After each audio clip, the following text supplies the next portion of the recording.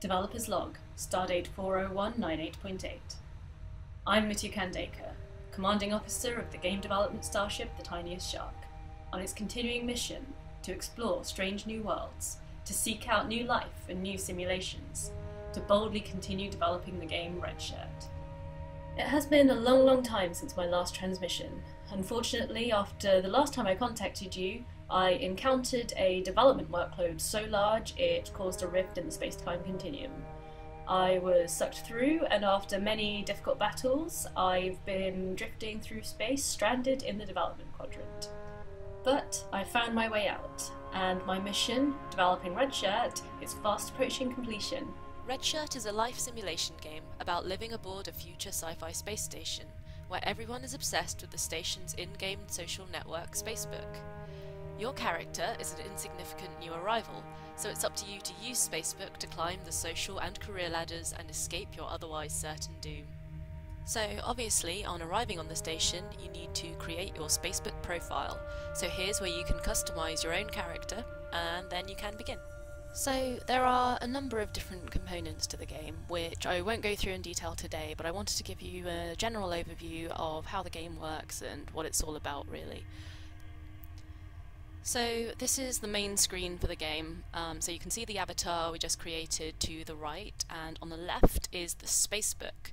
So uh, this is the uh, the news feed where you can read status updates from all the all the NPCs that you're friends with on the station. Um, you can like their statuses. You can read uh, the station system updates, and you can also update your own status too.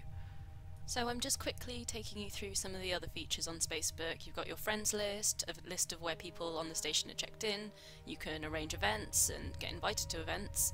Also outside the Spacebook you have the features to do with managing your character, so you have their skills and interests which you can level up. You have the careers panel where you can actually apply for new jobs once you've acquired the right skills or gained enough favour with the boss. And the career tree which shows you what you can aim for.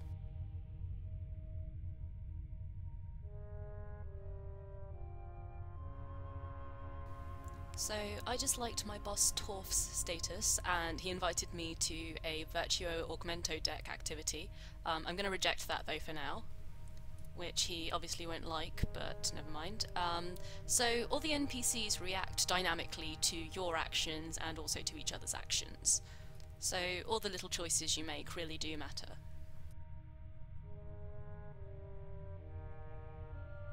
So, Redshirt really is a game about managing these dynamic social interactions which can happen aboard the station, as well as managing your own character and your work life balance as a Redshirt. There's a SHOP, or Self Help Object Purveyor, where you can buy items which have effects on your stats as well as your charisma, and of course, any purchases you or your friends do make do go on your Spacebook newsfeed, naturally.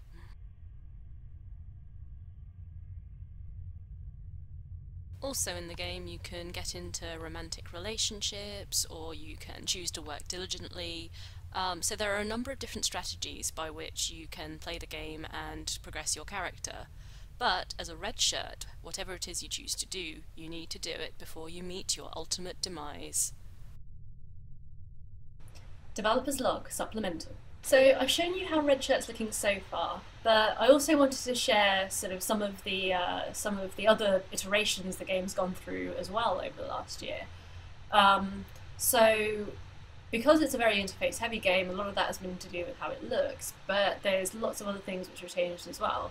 So, for example, the game used to be in real time at one point, but that didn't really work for several reasons. Um, and also, at one point, we considered putting 3D models in the game instead of the 2D ones you saw earlier. So, I'll be blogging as well in more detail about why some of the bigger decisions were made as the game evolved. In the lead up to the game's release, I'm going to be sharing more videos with you concentrating on more specific parts of the game and sort of how it's been developed um, for any of you who are interested in that part of the process. That's it for this transmission. As a reminder, Redshirt will be available for PC, Mac and iPad. If you have any questions at all about the game, um, how it's been developed, or anything else, um, feel free to send a subspace communication. Um, either leave a um, leave a message on the Facebook page at facebook.com forward slash redshirt game, or you can um, you can tweet me at mitu or you can also email at uh, mitu at thetiniestshark.com. So thanks for tuning in to this transmission, um, and see you next time.